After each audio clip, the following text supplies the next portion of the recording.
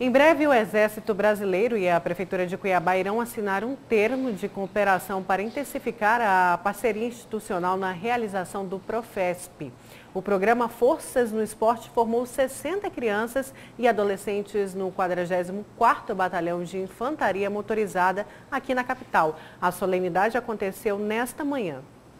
Bruno tem 10 anos e é filho de Raquel. A mãe compara o comportamento do garoto antes e depois do Profesp. A gente falava, saía retrucando. Hoje em dia, depois do projeto, ele não, não retruca mais. O comportamento dele melhorou bastante, né? A nota nas, na escola, o comportamento na escola. 60 crianças e adolescentes de 9 a 17 anos participaram da formatura de encerramento das atividades 2018 do programa Forças no Esporte como o hasteamento da bandeira do Brasil ao som do hino nacional.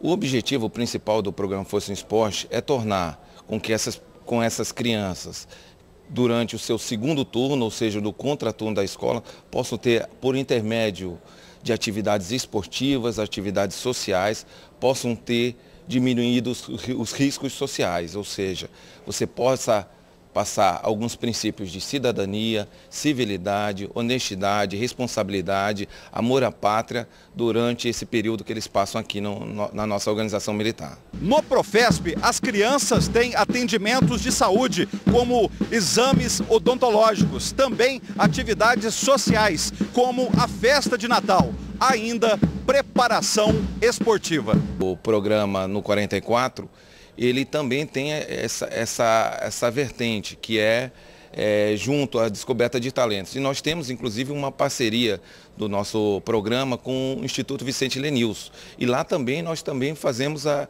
a descoberta de talentos. Então podem surgir novos atletas aí, é, esperamos, quem sabe, olímpicos, né, que possam representar bem o nosso Mato Grosso. O Profesp é realizado pelo Ministério da Defesa em parceria com instituições da sociedade e governamentais.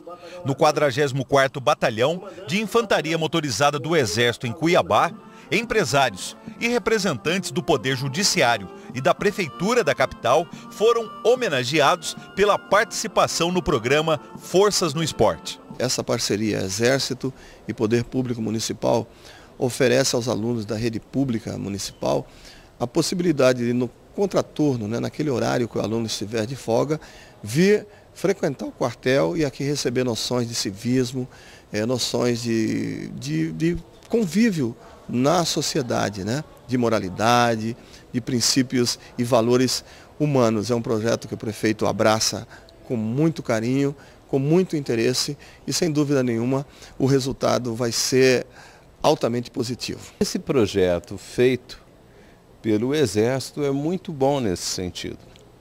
Ele dá uma formação à criança do que é necessário, do que é justo, do que deve ser escolhido. E nós não poderíamos nos furtar em apoiar dentro das nossas possibilidades. E é o que o juizado especial criminal tem feito, através daqueles que já se perderam ou, ou pelo menos cometeram equívocos e que pagam penas e medidas alternativas, nós conseguimos repassar isso para que aqueles que estão interessados em trabalhar com uma sociedade mais justa possam trabalhar as crianças.